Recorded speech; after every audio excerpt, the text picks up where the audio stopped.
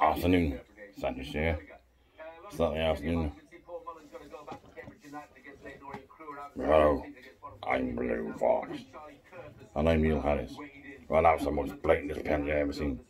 This is the X-Files Part 6, by the way. And I, I just like to say, I've never seen such a conspiracy in all my fucking life against Welsh Cardiff City team. He's a blatant goal plays because all on the keeper, it takes him down, and not another penalty. If I was Neil, I'd be going fucking mad. Neil. Yeah, I was mad last week, and I'm fucking mad, and the game not even over yet. I don't know what the fuck's happening. The English fucking FA. Hope they all die and catch disease. Catch the core and fucking die, all of them.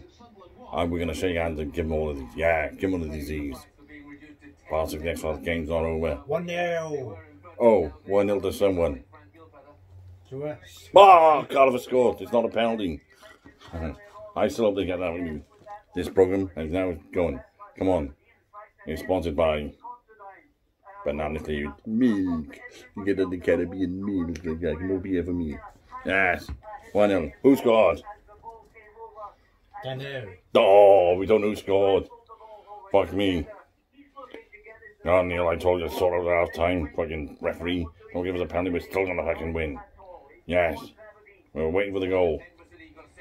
Come on, come on, Jeff, give us a fucking goal, you lying fucking X-Files fucking bastard. Folks, ah! Hopefully we get a well take 1 0. Bye, everyone.